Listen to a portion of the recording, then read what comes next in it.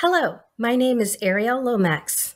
I am the recipient of the 2022 Directors Award for Excellence in Innovation. I am extremely grateful to Dr. Mary Ann Harlan, Dr. Mary Kay Bolin, and the Student Awards and Scholarships Committee for selecting me as the recipient of this award.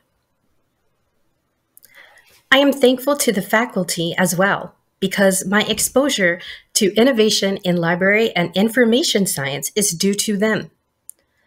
San Jose State University's MLIS program has given me the opportunity to explore these new territories with courses that stirred my interest in new and future technologies.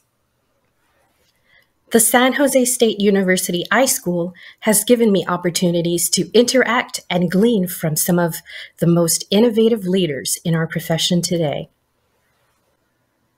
Especially now, as we come out of the pandemic, we have seen the importance of technology and libraries to connect people with resources and information.